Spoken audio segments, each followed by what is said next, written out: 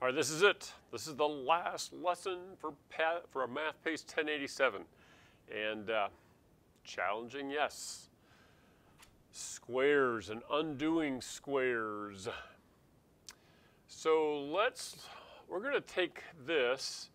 Um, what page was this on? Was this? Yeah, page 44. Okay. Yeah, that's what I have up here, page 44. All right. Um, I want to solve for S, okay? Solve for S. Now, the SA means surface area. It's not two different things. It's all just put all together, surface area. One, one thing. So to solve for S, the first thing I need to do is divide by 6, okay? So I have SA, surface area, divided by 6 equals S squared. What do we, how do we undo something that's squared? Let's think about this. What is 3 squared?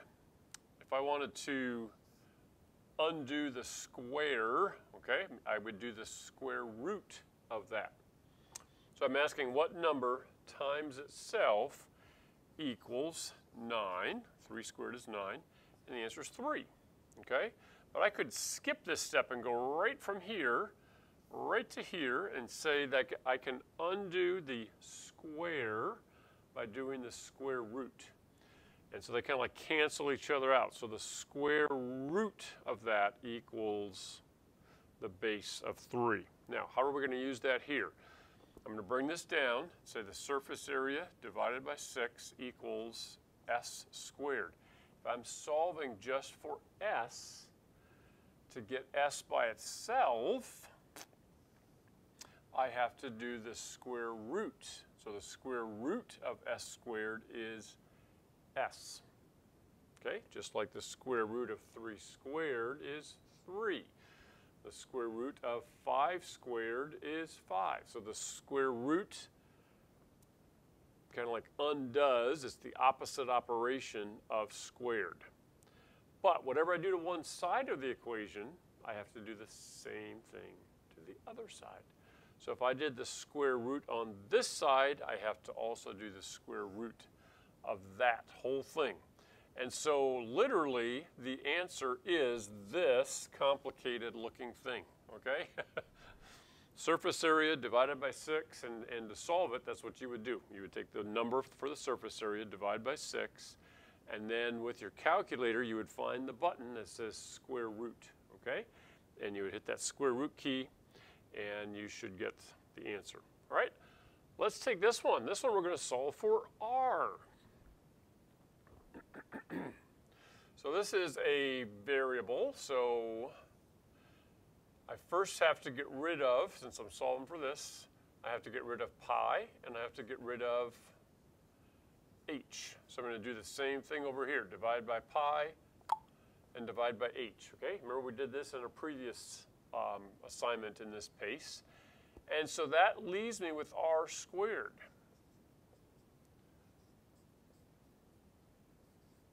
How do I undo the squared? Okay, I'm trying to solve for r. I do the square root, and I have to do the same thing to the other side, okay? And that will give me just plain old r. Square root of r squared is r, and that's what they're asking me to solve for on this particular problem.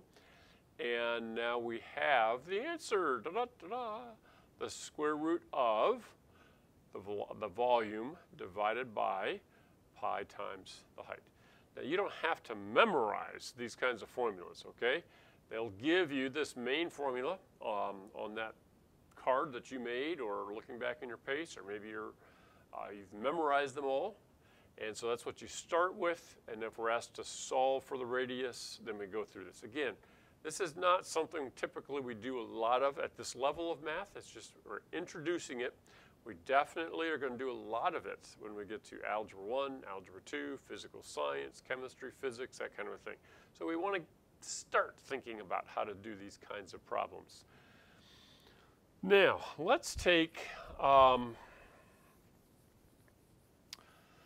the next little section in the pace, which is they give us the volume And they ask us to find,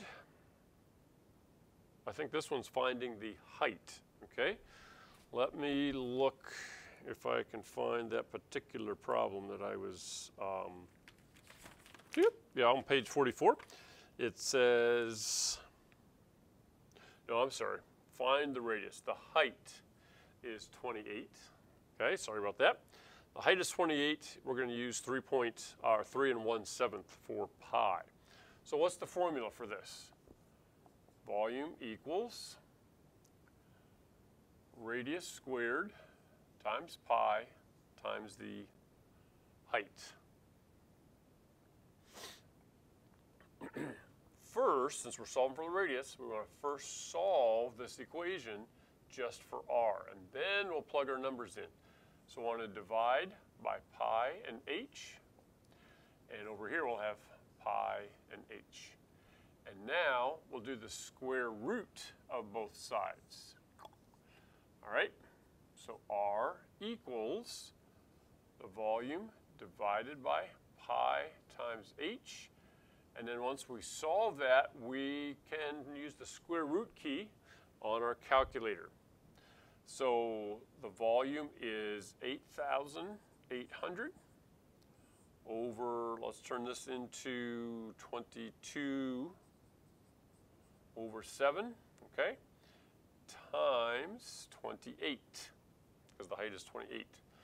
And uh, I realize we're kind of getting in our way here, but if we put that over 1 and we can see that, oh, look, this cancels. 7 cancels against 28, and I have 4.